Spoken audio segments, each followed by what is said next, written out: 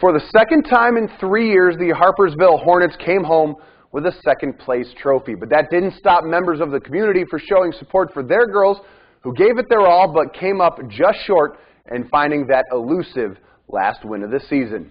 It was a close finish as the Hornets lost 54 to 44 to Bishop Kearney. The Hornets went up by one at the half despite only four points in the first quarter, all on free throws from Miranda Drummond. But that late surge was too little too late, and that cold first quarter proved to be much too costly.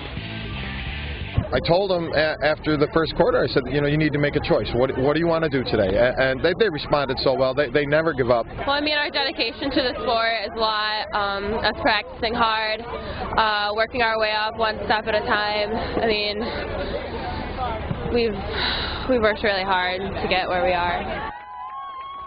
Despite losing in the state championship, the Hornets finished the year at an impressive 20 and 3. Congratulations on a, on a successful season, ladies.